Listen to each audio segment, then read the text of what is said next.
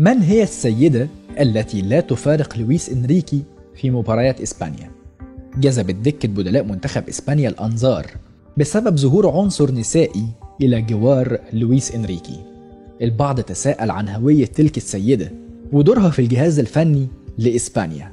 نوريا مارتينيز إدارية منتخب إسبانيا منذ شهر سبتمبر 2021 نوريا هي بمثابة حاكمة المنتخب الإسباني.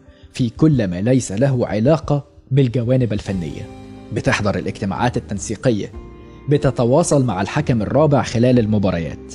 بدأت نوريا العمل في إسبانيا في مارس 2021 ولمدة شهور اشتغلت نوريا مع سيلفيا دورشينوفا المديرة السابقة لمنتخب إسبانيا.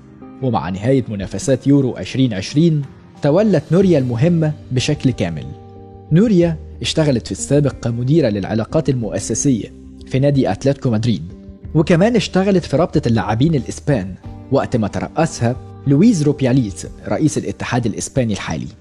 خبراتها تتجاوز كرة القدم لأنها اشتغلت في الاتحاد الإسباني لكرة السلة وكانت في اللجنة المنظمة لبطولة أوروبا 2009 ونوريا وجه غير مألوف على الشعب الإسباني لأنهم اتعودوا على سيدة تانية في المنصب ده سيلفيا دورشينوفا. شغلت المنصب لمدة 30 سنة تقريبا وهي الإدارية التاريخية لمنتخب إسبانيا الشاهدة على كل إنجازاته.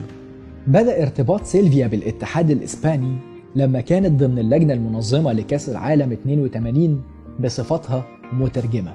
وهي مولودة في ألمانيا لأبين من التشيك وانتقلت الإقامة في إسبانيا خلال طفولتها. كانت بتتكلم إسباني وإنجليزي وألماني وإيطالي وفرنساوي وتشيكي لكن بعد سنوات طويلة من خدمة لاروخا تقاعدت أخيرا العام الماضي.